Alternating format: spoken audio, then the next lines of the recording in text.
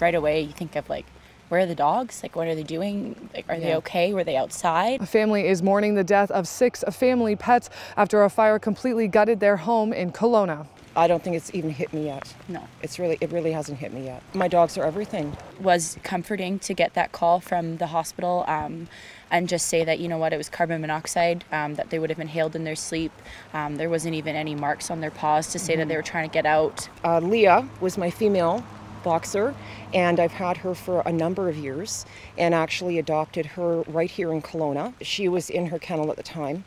And also next to her was uh, Jack, and he was our male boxer and the dad. Miss Mercedes, our, our older girl, 13 years, she's been with us throughout everything. Yeah. And uh, Mr. Sherman suited his name to a T. Often we would let uh, our uh, pet duck, Becky, and I'd bring her into the house occasionally, especially during the winter. The cat was your mischievous in the laundry, climbing on things. When they returned to the home today, they actually found one of their pets still alive. We really didn't expect to find him.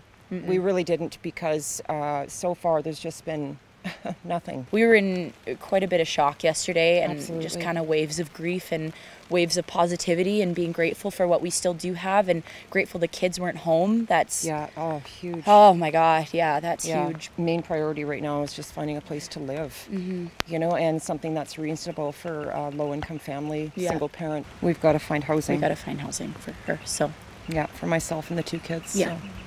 The family wanted to thank everyone that's reached out and the support that they've received from the community. And if you'd like to donate, you can do so at the link below. For Castanet News, I'm Alana Kelly in Kelowna.